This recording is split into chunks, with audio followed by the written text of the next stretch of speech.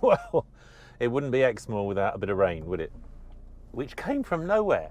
Yes, it was clouding over, but then all of a sudden, boof, and it's still raining now. However, because this is the most wonderful car in the world, it has this trick.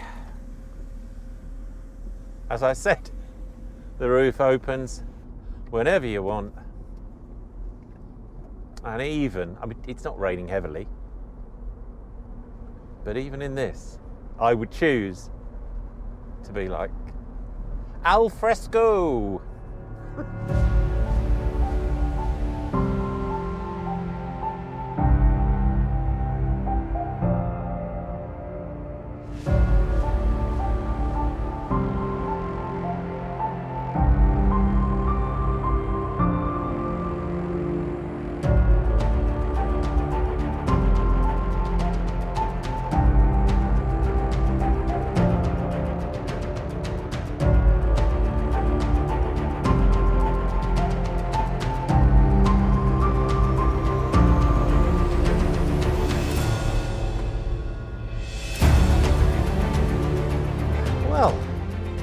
welcome back to FarmerTorque. Well, tarmac trails, really. And an introduction to my new smart Cabrio. Very smart it is too. Just going through Bridgetown and uh, yeah, I'll tell you all you need to know about this little car. So here, straight away, without further ado, is my sum up of this car. This is a joyful, very happy little car. There, that's all you need to know. Simples. So we'll combine this with tarmac trails, a sort of tarmac trails. We'll have a little drive, and rather than just go nerdily on about specs and how this is this and that's that, uh, we're we're just on the 396, the Valley Road, gorgeous road, uh, but not for long because up here, let's turn left and go to Winsford. And actually, the idea is to head off to a little stream called Portford Water, which no one will know. It doesn't mean anything. That's what it's called on the map. It's just a nice little bridge uh, up on Exmoor. And uh, Heather's looked quite nice last week. We'll see what it's like this week. Right, what have we got here then? Smart ForTwo Cabrio cabrio is the important bit. 900cc triple engine bolted to a twin clutch, dual clutch, automatic transmission with, and this is a spec thing on this, paddle shift. That's the important bit. Loads of room in here, and more importantly, a really comfortable driving position and simply fabulous seats. It's one of the few cars, few sporting cars, I don't have to have the seat right back in.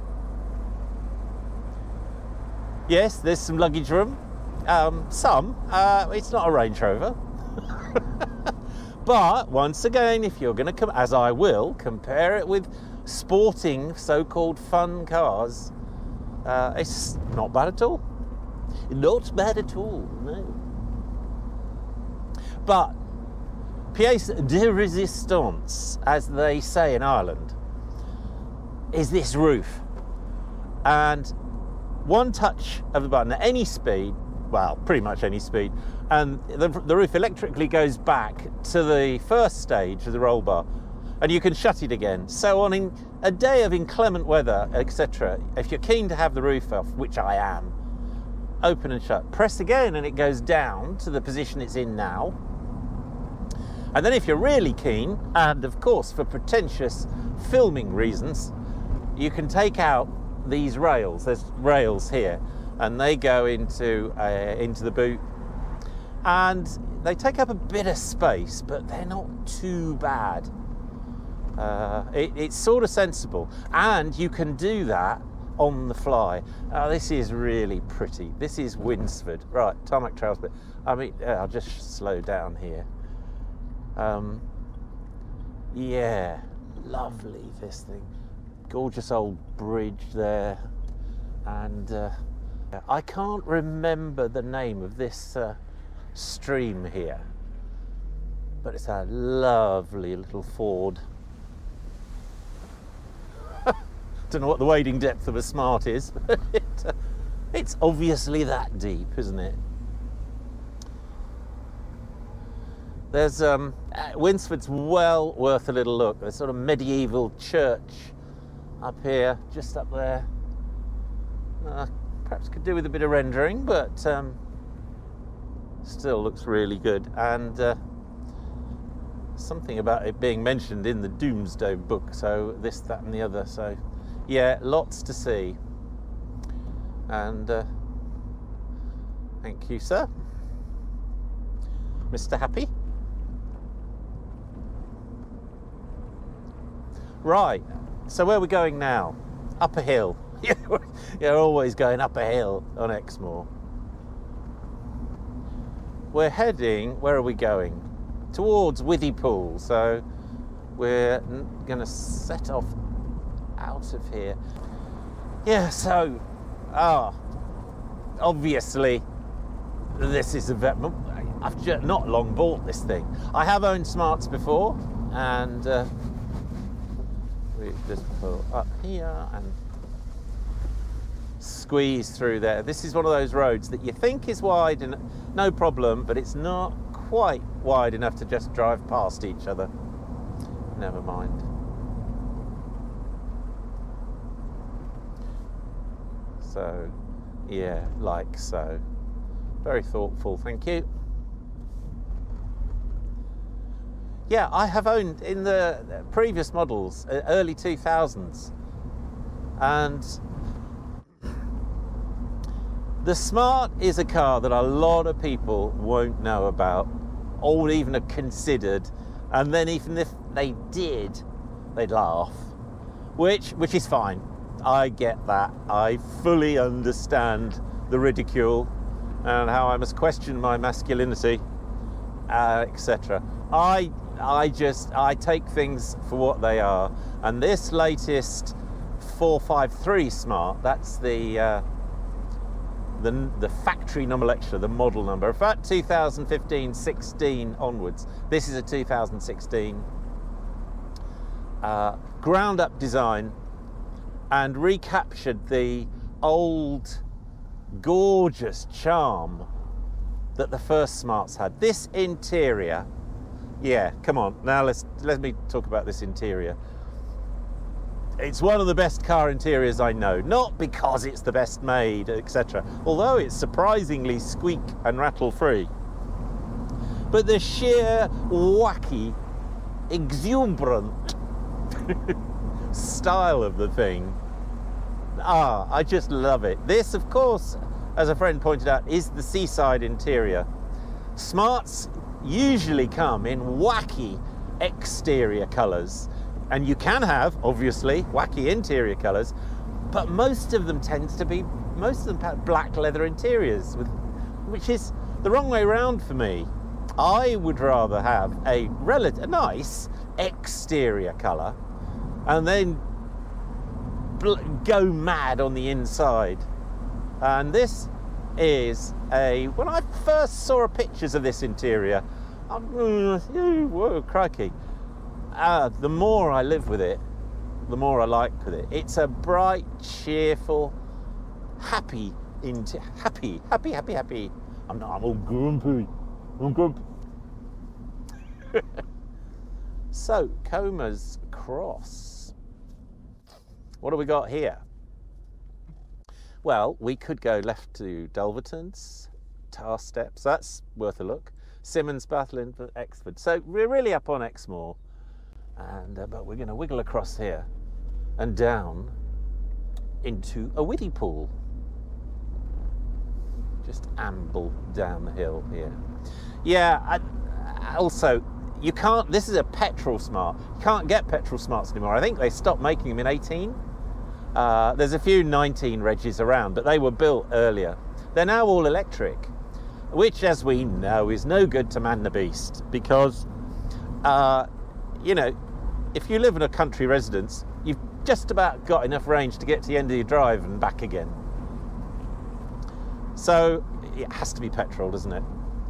And uh, and this thing comes back. The road tax, on insurance is Group Nine, so oh, mm, and road tax is zero. Don't ask me why. But so I was looking for one of these. This is the 90 horsepower one, which is which is important. And the spec is fantastic. It really, it's got just about everything you get. Sat nav, paddle shift, the auto box, as I've said. This is a lovely little road, by the way. Uh, it's got this interior, it's got cruise control, it's got lane things, it's got a rear camera, it's hmm. got heated seats. It's got it's it's you know all those essential things that you just cannot live without.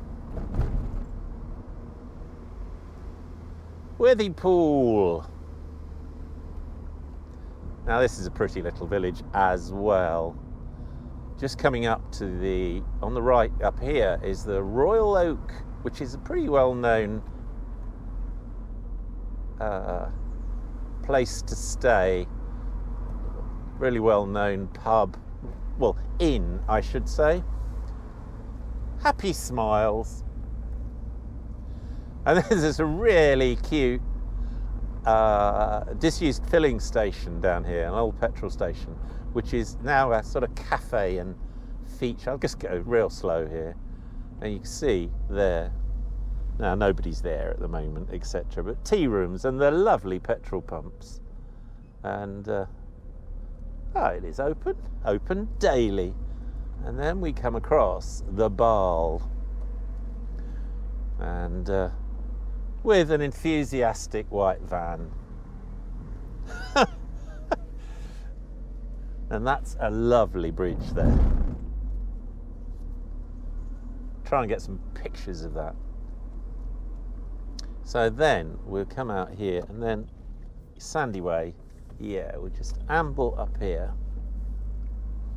Could go back that way over there, some lovely lane over that way.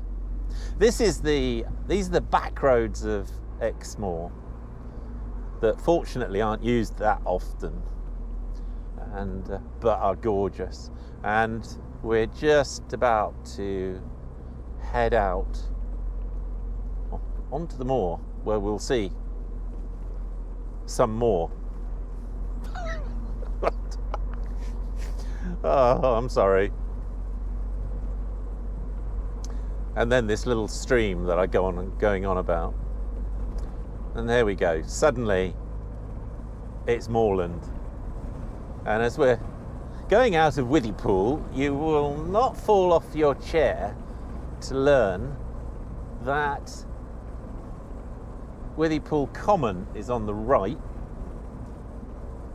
And you'll never guess what the hill is up there on the left. Yeah, Withypool.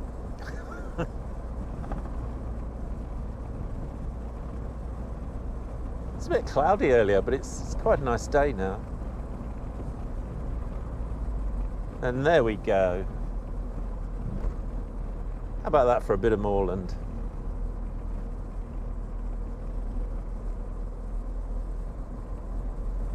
Oh, this is just so wonderful. Love it up here. Exmoor has huge appeal. See the uh, heather up there on the bank. It's perhaps going off not as vibrant as it was a week ago. And this is the Portford Water. Portford Water sounds like a really great lake, doesn't it? But I mean, I just drive through there. We'll come back to this. But, um, I mean, not the most dramatic. It's just a lovely little spot.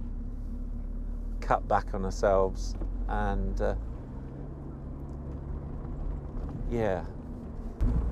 As I say, you're always going uphill in Exmoor, especially on a push bike. So this is proper moorland, sheep everywhere, deer, and uh, a cyclist having a look, which is fair enough, actually. Having a pedal, having a push. I do. I mean, I don't know whether I take my hat off or question the sanity. These cyclists that are loaded up with saddlebags and uh, pedaling away. Keeps you fit. Doesn't keep me fit because I don't do it.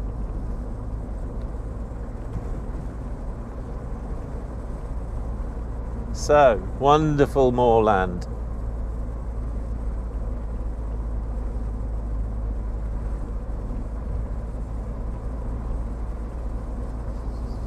Hmm. Well, there you go. A little bit of Exmoor.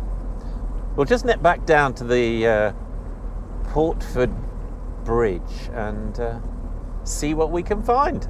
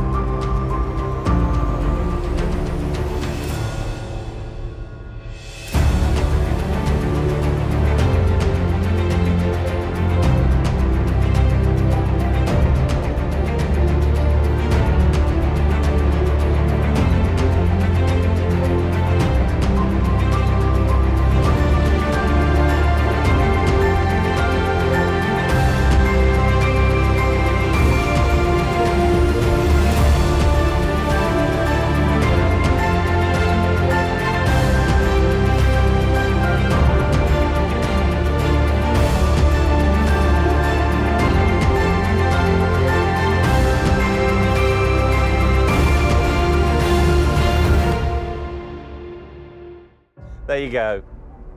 A tarmac trail stroke definitive car review of what the silliest car on the planet. Nearly. Maybe. Probably. Look forward to more videos. Thanks for watching. Uh, love to know what you think. Bye for now.